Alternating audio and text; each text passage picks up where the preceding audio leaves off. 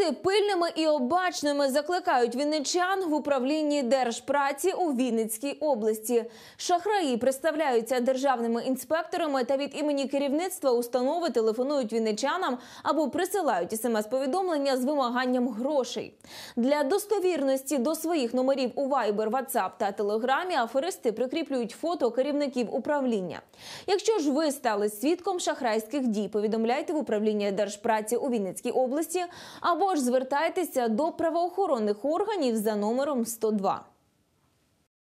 Протягом декількох останніх днів шахраями здійснено близько десятка дзвінків від імені начальника управління держпраці та його першого заступника з метою вимагання неправомірної вигоди від підприємців Вінницької області. Шахраї обирають підприємства у базі даних реєстрів підприємств Вінницької області, де є певні дані про підприємців. Вказана інформація про основний вид діяльності, що вони здійснюють. До прикладу, пропонують надати фінансову допомогу управлінню на різноманітні, незрозумілі та неіснуючі потреби.